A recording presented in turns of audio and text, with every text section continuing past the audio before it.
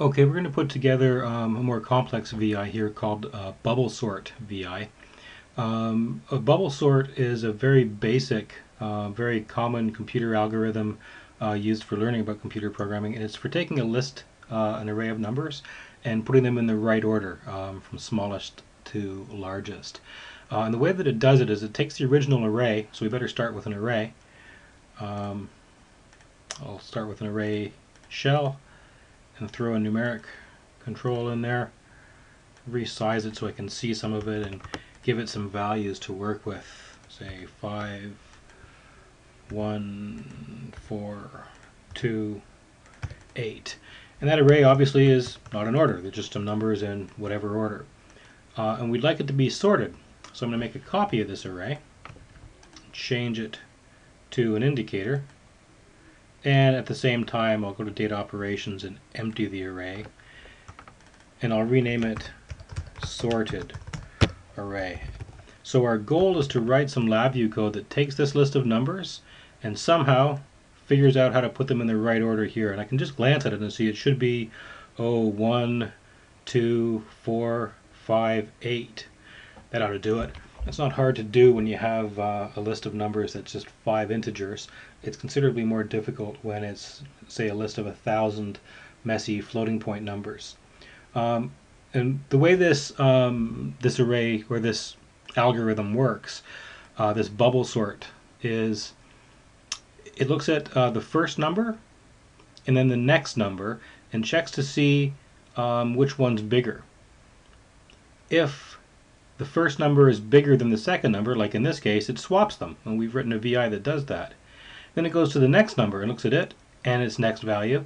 And again, does a comparison. If this number is greater than this number, it swaps them. And then it does the same thing. And it does it until it gets to the end. And then what we have is basically an array that's only slightly more sorted than it was before. And then we do it again and again and again. And we rerun this process of working through the array making these swaps or not with pairs of numbers until we're done until the array is sorted. So we'll start off with just trying to do one run. So the idea is we want to start off looking at the first number and then the next number and possibly swapping them based on a comparison. And we're going to have to work our way through this. We're going to need uh, a for loop to get this done. So maximize the screen give myself some room to work and let's put a for loop on here. And I want this for loop to run uh, not five times, four times.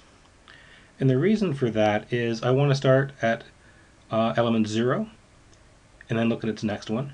Then I want to go to element 1 and look at its next one, and element 2 look at its next one, and element 3 and look at its next one. I don't want to go all the way to element 5 because there is no next one. I want to stop at this one and then look at its next one. So I want this um, for loop to run from one less than the size of this array. So I'll use the array size function to get the size of that array.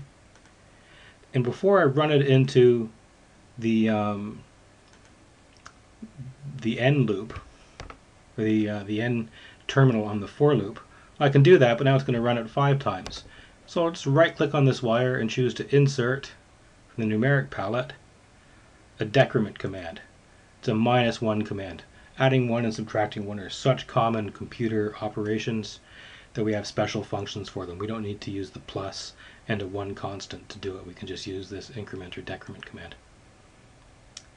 And then what I'm going to do is take the array and pass it into the loop.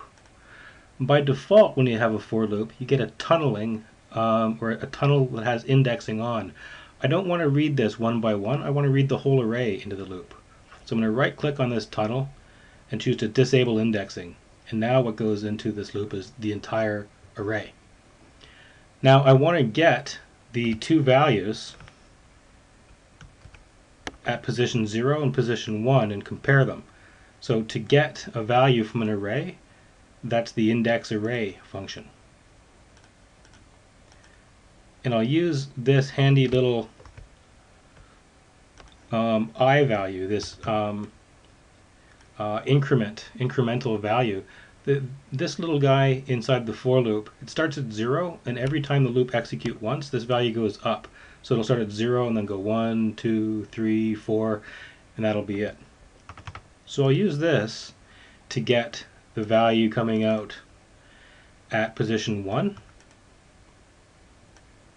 And I'll use another one of these to get the next one.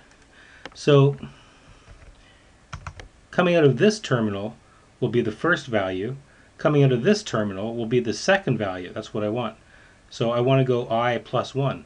I need a plus 1 command from the numeric palette.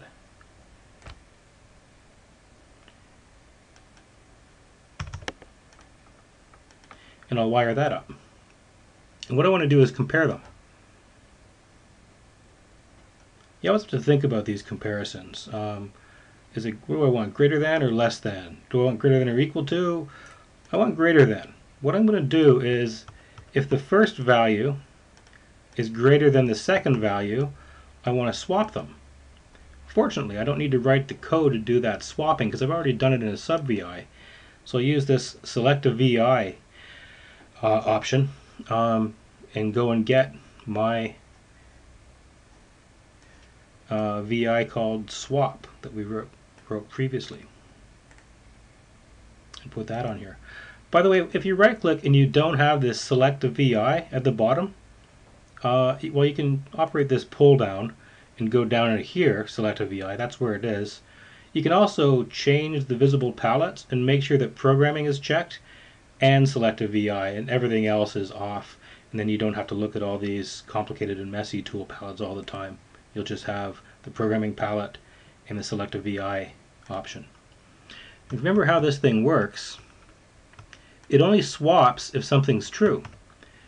If the first value is greater than the second value, I want to swap them. So I'll run that boolean in. and Then I have to give it the two positions.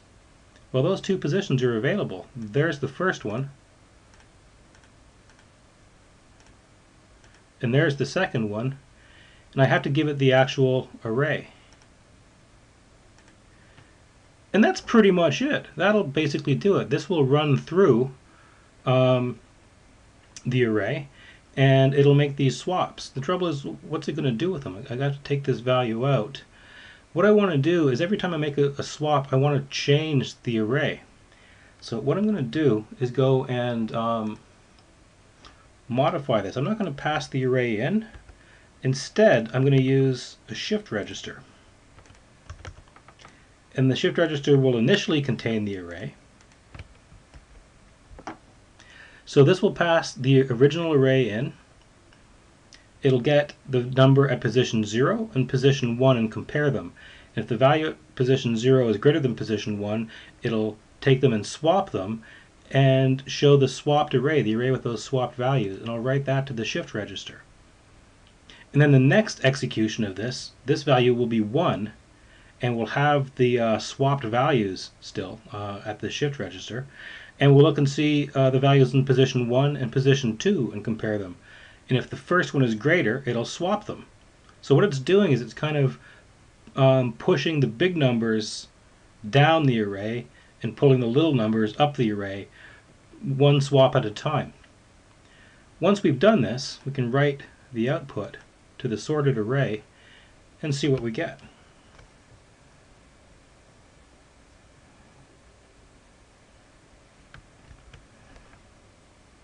Let's run it once. Okay, so did it work? Is it in order? 1 is bigger than 4, that's good, but this isn't. It's not completely sorted, is it? It's better than it was. We've only done this set of swaps once. We took 5 and 1 and swapped them. And then we, we did this comparison and maybe made a swap and this comparison. The thing is, though, you have to run this thing over and over again. We have to take these numbers and bring them over to the array and run them again. I could just type them in here manually.